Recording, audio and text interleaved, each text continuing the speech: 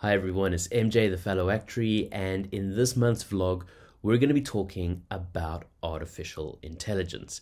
And I know what you're thinking, everyone is talking about AI. I mean, you go on TikTok, it's ChatGPT this, ChatGPT that. It's like, haven't we haven't we spoken enough about this topic? And I'm like, no, no, this is such an awesome topic. I'm absolutely loving all the videos out there. And I thought, you know, why not join the discussion and just throw my hat in the ring and have a few things to say on such an awesome and groundbreaking subject. So what we're going to be doing is looking at yeah, what are my own personal views on AI? How's it going to be impacting the actuarial profession? and yeah, basically, I think just those two things will will give us more than enough content to speak about for the next 30 minutes. Like I said, this is the vlog video. Try aim for 30 minutes, a longer format. Don't have to worry too much about making everything, you know, short, precise, and to the point. We can have a little bit of time, you know, just to chat, have fun, and and think some of these things through. So let's maybe start with uh with yeah how did I get involved in AI? And I guess I've always been fascinated with AI, sci fi, you know, computers. In fact, I should have probably studied computer science instead of actuarial science. Uh, just about the amount of time I spent on computers. IT was by far my strongest subject at school. Um, but parents were very much insistent that I joined a profession, and they were like, "Computer science, there is no profession attached to it," so they they weren't too encouraging on on that front. But interestingly enough, my very first, I guess you could call it official job, because after graduating at the end of 2013, I would spend most of 2014 doing a bunch of small jobs for various different actuarial institutions um, around the world, uh, of course, working remotely.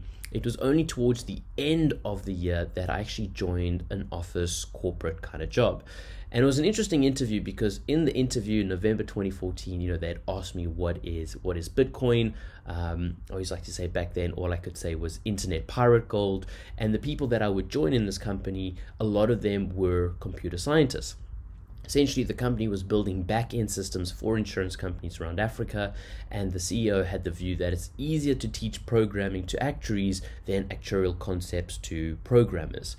And what was great about this job is that, like I say, I got to spend a lot of time with these computer scientists, which very much was my, you know, my, my second choice when it came to to what I wanted to study.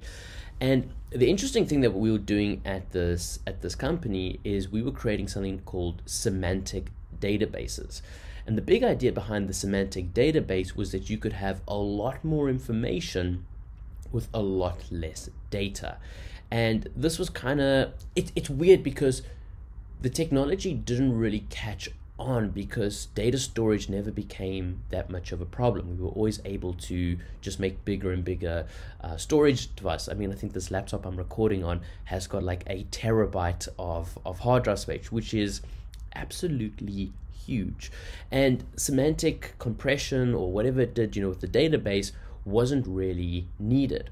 However, However, it was still very, very cool because essentially what we were doing at this company is instead of just recording all pieces of, of data and putting it in a big data, you know, structured database, we could store a limited amount of data in an unstructured format. And if we knew the links between different pieces of data, we could reconstruct that information when needed. So I'll give you a very, very quick example so you know what I'm talking about here.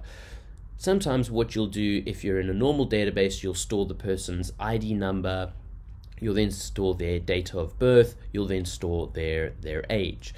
Now, what happens is every year you have to run a, a, query and update all the ages, you know, check when the birth date was and increase it if, if that birth date has, has passed. Now, in South Africa, our IDs, the first six digits of our IDs, represents our birth date, uh, the year, the month, and the, the date. And I'm not sure.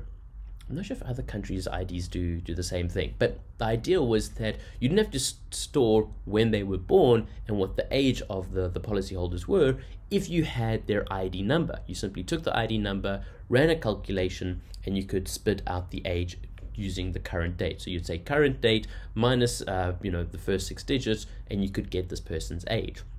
Which means you could reduce two fields on the database. And they kind of did this not just with personal information, it's just like a nice easy explanation, but when it came to, you know, what should the benefit be, how much should the, the premium be, you know, all these other things, they were able to rather calculate instead of storing.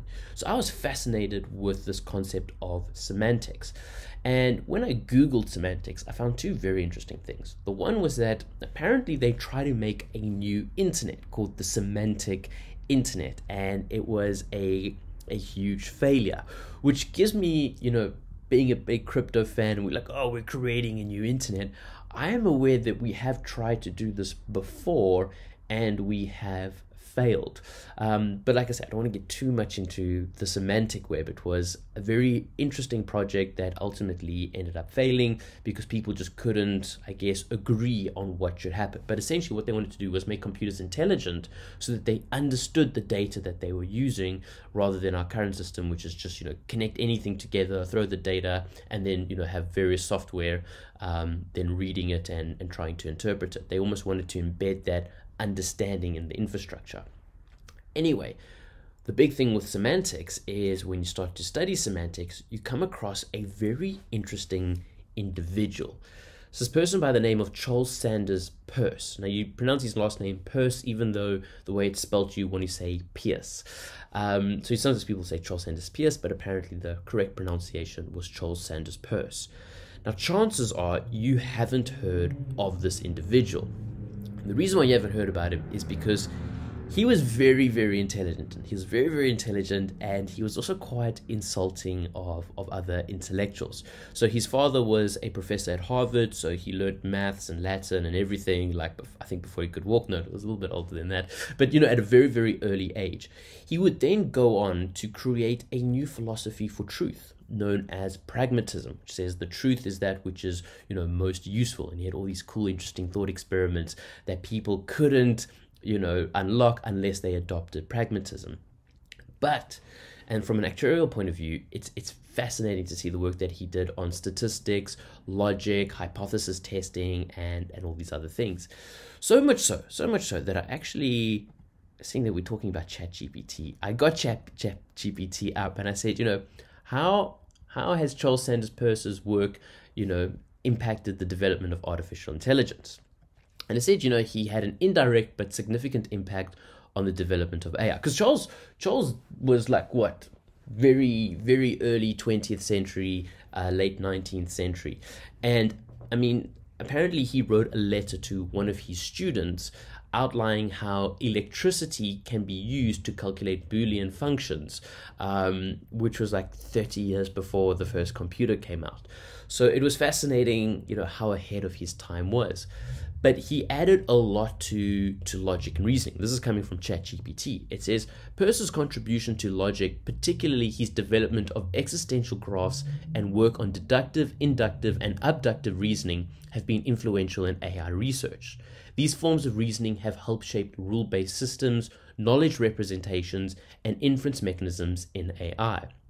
Abductive reasoning, in particular, has been widely used in AI to generate hypotheses and explanations based on incomplete or uncertain information. So, as an actuary, you should be getting quite excited because you know we use statistics, uh, which is going through you know data to try and answer uncertain questions. That's why we have hypotheses. Uh, the one thing I, I read and I don't know how true this is, and apparently he introduced the term likelihood um, to the whole game.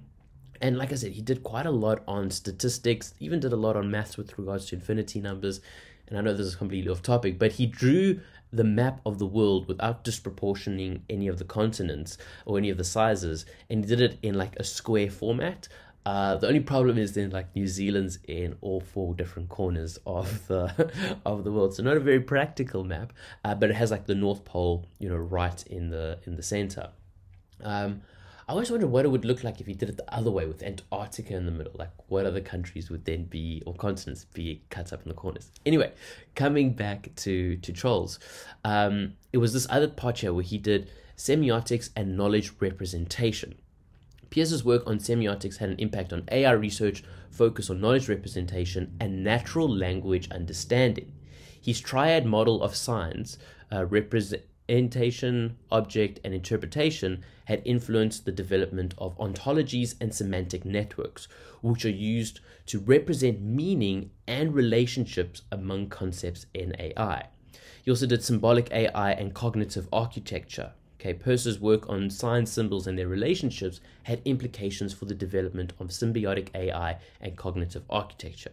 Cognitive architecture, that sounds like a really cool word to put through Midjourney and get like some crazy surreal image on that. Um, Symbiotic AI relies on the manipulation of symbols and their relationships to represent knowledge, while cognitive architecture aims to model the human's mind structure and processes. Peirce's ideas on signs and symbols have been influential in both of these areas. Then, like I say, he also had this whole idea on, on philosophy. He introduced quite a lot of things in philosophy, not only pragmatism, another thing called tychism, which was this idea that randomness is embedded in reality and it's not just an illusion of our ignorance.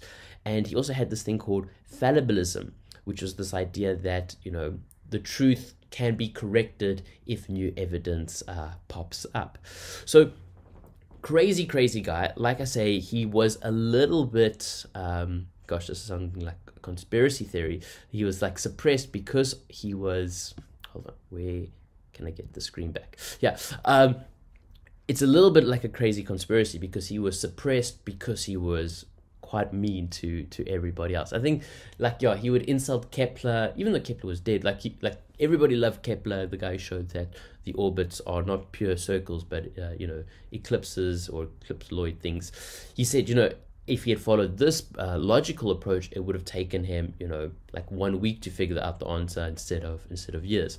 And he was quite, like I say, aggressive with his with his insults which leads me to another thing that ChatGPT did, which I thought was very interesting.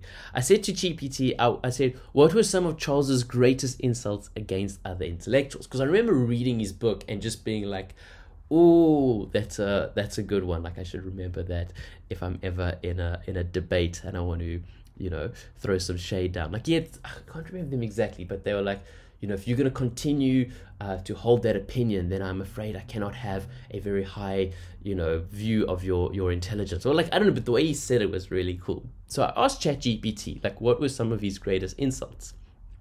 And it says Charles was known for his strong opinions and occasionally abrasive personalities. But this way it gets interesting. But it is important to remember that his primary contributions, and it goes on philosophy, logic, math, whatever, and it says, while there may be instances where he was critical of other intellectuals, focusing on these exchanges might not provide a fair represent- representation of his overall contribution. And it goes on to say, you know, like, it gives me a few of these things, but they were like very much watered down. And it says, while Peirce did have disagreements and critiques of other intellectuals, it is essential to remember that his main contributions were his scholarly work. It is these ideas and advancements in various fields that have made the most significant impact and should be the primary focus when discussing his legacy. Now, what I find interesting about this is ethics is creeping in to ChatGPT. ChatGPT is telling me, you know, I said, I just said, what are some of the cool insults? You know, like a little fun thing. And it's like, mm mm mm mm you should not be focusing on how somebody insults other people. You should be focusing on their scholarly work and not their criticisms of, of others. And that I find that I find interesting. Like I wonder if ChatGPT just came up with that or or if OpenAI's researchers have kind of embedded this how would you call it this don't be offensive attitude at all costs into the thing, and that's why it's got these these disclaimers. Um, but I do find it interesting how it's telling me, you know, I shouldn't be looking at the insults when discussing his his legacy. Um, but yeah, like I say, big big fan of Charles Sanders Peirce. He's got a book called um, Chance, Love, and Logic. Really, really cool. I think the first chapter is called The Fixation of Beliefs, which is amazing. Then he's got something called the irritation of doubt, and it, it, it starts becoming more psychological and, like I said, powerful, powerful book. Um, yeah, I mean, we could make videos just on the content of of Charles. But coming back to to AI, I remember reading up on all of this stuff, and it got me really, really excited. Got me excited for for a couple of reasons. The one thing is, I was like, okay, cool. This is the first person or this is a bunch of research that's actually outlining how AI works to me. This is these natural language processes. This is kind of like the blueprint on how these things kind of get get built. It's no longer just a mysterious computer magic that these things are working. There is a bunch of logic behind it, and I wanted to explore it a little bit more. So I went and I did I did two things. Um, the one thing is I made my own little AI. So after I left this company, I programmed a very basic little AI that plays rock paper scissors. Uh, but the big thing was that it learned it, it did two things. It learned how to play the game, or it learned what what gesture to to show, shown on people's past past gestures.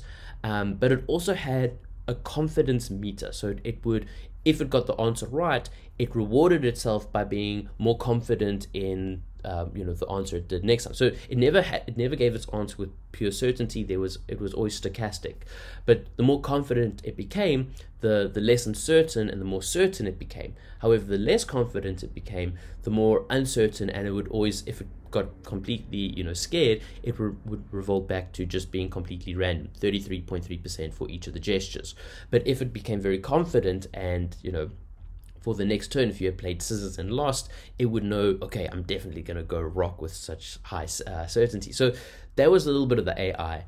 Um, because AI, even back then, was such a such a buzzword. I submitted it to the South African Journal of Science, who they loved it, so they published it in the May 2016 edition. Um, but what I also wanted to do was explore AI. It was like, okay, cool. I made my little AI, my little pet thing um, that could you know think but let's let's go deeper into ai because i could see ai assisting on two other fronts. The one front was the actuarial front. Um, actuaries when we're building models you know we need assumptions we need parameters and sometimes you don't know what those parameters should be.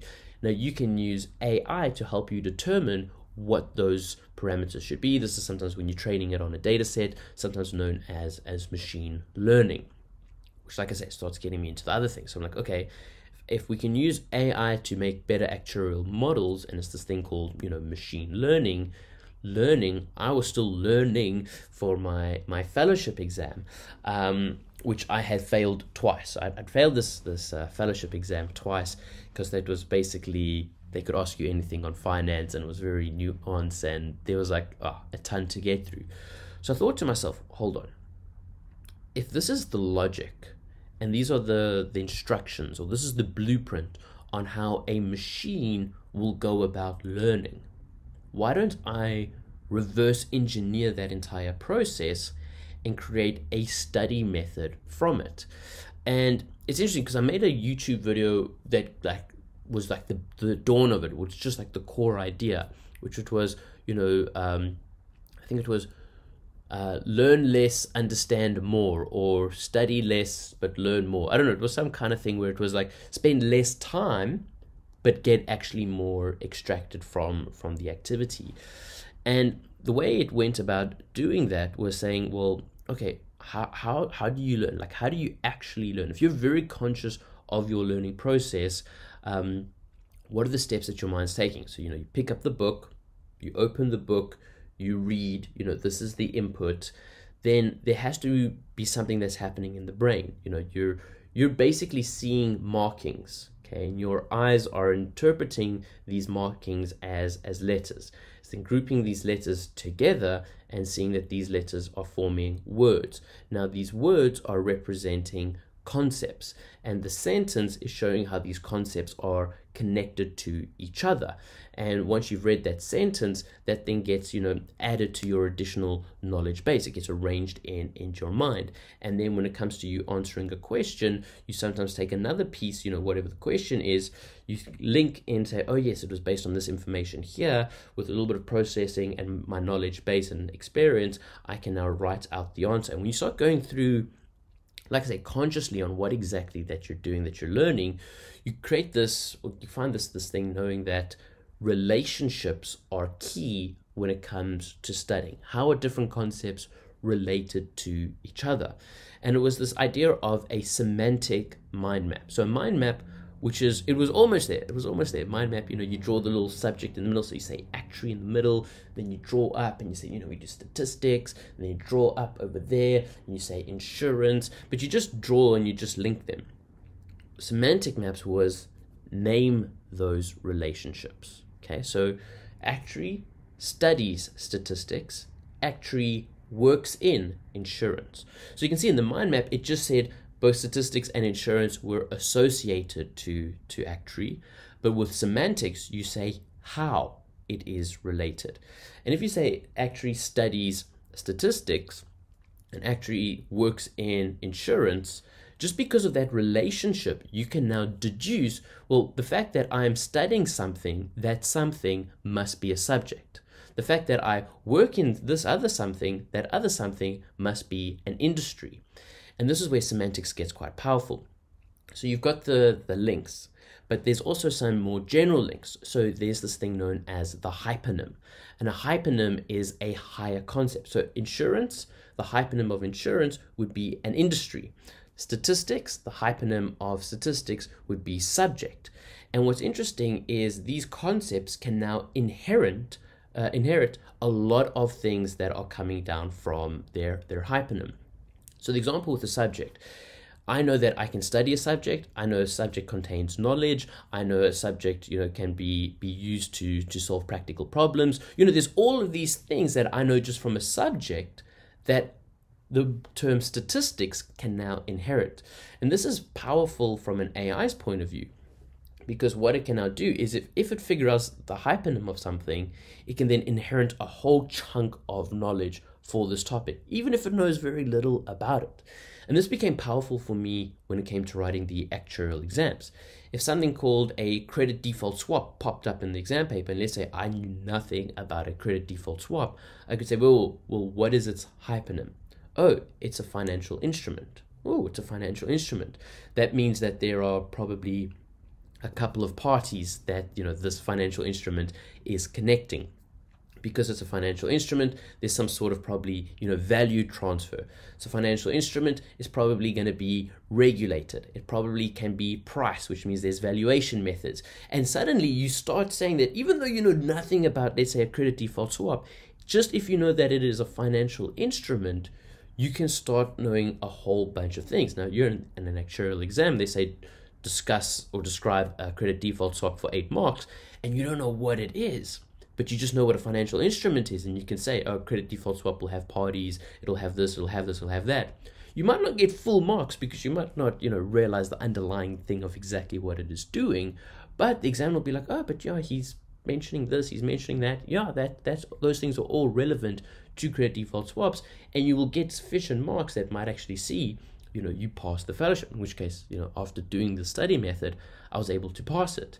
Um, I actually remember I went and I did I did a TED a TEDx talk at at UCT, and I was so excited for it. I put so much effort into it because of course, these TEDx talks were going to be recorded, they were going to be released to the world, and I thought, oh, this is going to be such a great thing to to share with everybody because with semantic relationships, there's the, the hyponym, there's the hypernym, there's the meronym, there's the holonym. I mean, there's a whole bunch of these different relationships, each which are able to extract so much more information. And I did this whole TEDx talk. They filmed it, and then they messed up the sound. They messed up the sound. So and then I don't know, they had students who were organizing it and then they never edited it. I got the raw footage and it's been something to do for a long time has been to, you know, try and salvage something of this TEDx talk and, and put it out there because this is 2016, you know, looking at um, you know, how how does AI actually work? What was interesting, I remember in, in the TEDx talk was I, I was I while I was going, you know, researching into AI, I came across another Michael Jordan who was publishing things on, on, on AI. And he was at Berkeley uh, University in, in America. So his name was Michael I. Jordan. And I thought they were so cool because, you know, he's studying AI and what better way to differentiate himself from, you know, the basketball player than to be Michael I. Jordan. And um, and I can't do that because my middle name is Bayman, and there's another Michael B. Jordan you know, in, in the movies. Um, but I remember coming across this Michael I. Jordan guy and being like, no way, that's so crazy, you know, somebody else with my with my name. And then during COVID, I had ESPN reach out to me to do just, you know, talk to me because of my name being Michael Jordan.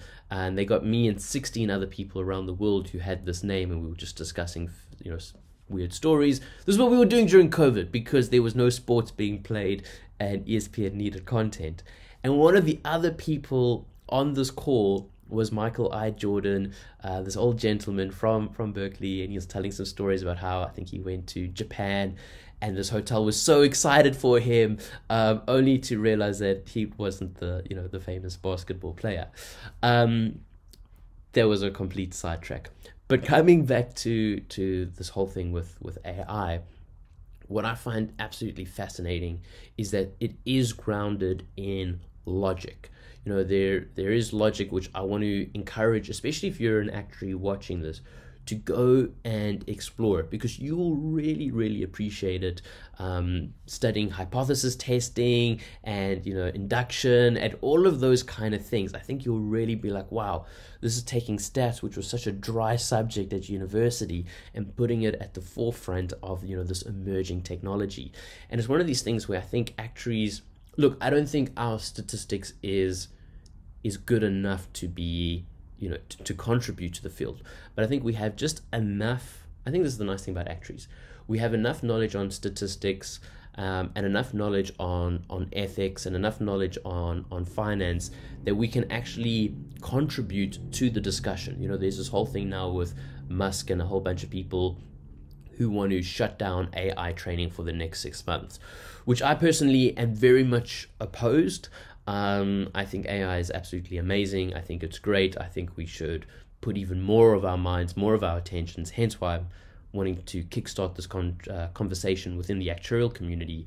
Uh, for those of you following me on LinkedIn, you see I'm, I'm, posting all of these like surreal art images created by by Midjourney of actuaries doing, you know, actuaries doing what we do best, calculating the time value of money, matching assets to liabilities.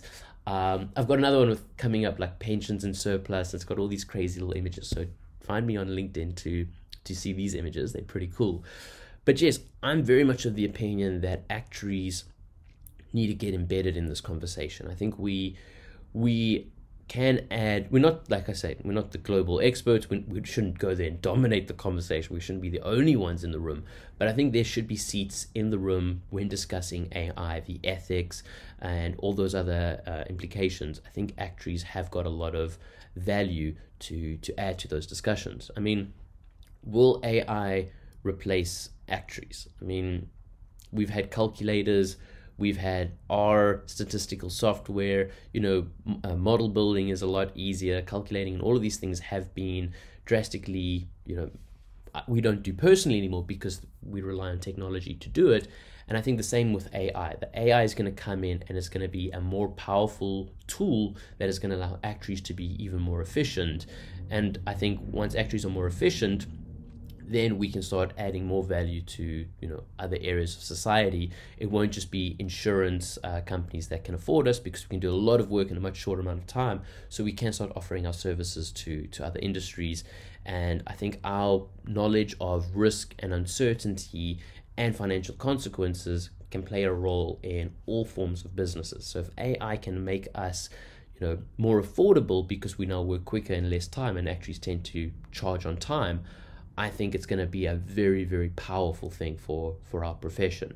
Um, are there going to be jobs impacted? Yes, you know, and that is something that we need to to consider from a societal point of, of view. And that's why, like I say, we shouldn't be the only ones in the room. We should have, you know, sociologists in there. We should have unions in there. You know, we should have people um, that are representing, you know, other other areas in that whole conversation and you know let us all be in there let's all discuss it. But i definitely think actually should be part of that ai um, discussion. Like i said we're probably going to be on the optimistic uh, pro ai uh, side of things. Um, but yeah like i said very very excited with this technology. We have hit 29 minutes so this is the last 50 seconds. I guess this is where i'm going to end off by just saying that i am playing with ai um, so I mentioned in the last post, you know, what's my little secret project? Secret project is using AI to to generate content, um, religious content, because I think this is where the AI is very powerful. The more data it has, the better its output is going to be. And with religion, it's had got what six thousand years of content, you know, of writings.